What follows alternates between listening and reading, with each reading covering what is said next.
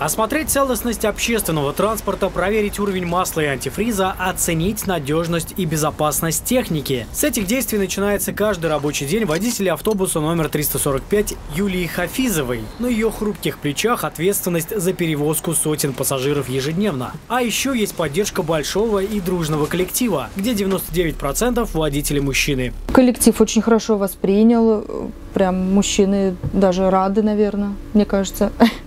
всегда помогут, подскажут. Я прислушиваюсь к их советам, потому что у них очень ну, большой опыт по сравнению со мной. В тяжелых ситуациях никогда не бросят.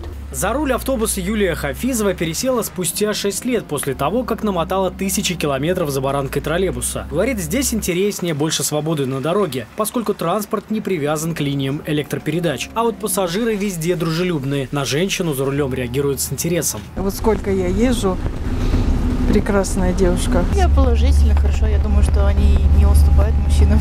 Женщина надежнее. Да? Я так думаю. Так что... Нет, ну я с, этой, с этим водителем уже несколько раз ездил, очень хорошо, будет спокойно. Несмотря на то, что работа не самая безопасная и каждый второй так и норовит подрезать, Юлия Хафизова уверена, что лучше для нее профессии просто не существует. Другой профессии я себя не видела, мне очень нравится моя профессия, я привыкла уже за столько времени. Это очень ответственно.